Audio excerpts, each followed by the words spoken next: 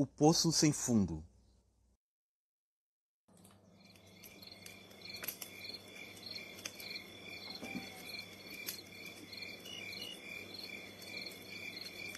Quando eu era miudinho, mas bem pequenininho assim, ó, eu vi a coisa mais bruxólica dessa vida. Havia na freguesia um poço sem fundo, e lá toda a gente jogava seus estorvos, suas tralhas e velharias.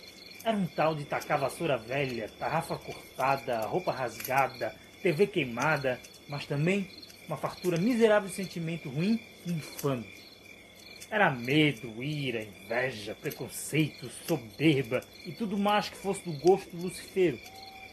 Até que um dia foi tanta ruindade, mas tanta ruindade, que o poço transbordou numa labareda de fogo fato, cuspindo para fora tudo que a mandraga transformou para fazer estripulia nessa ilha de desterro.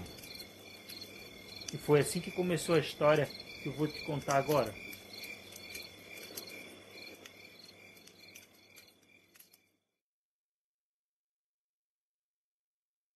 Agora pode parar a fita.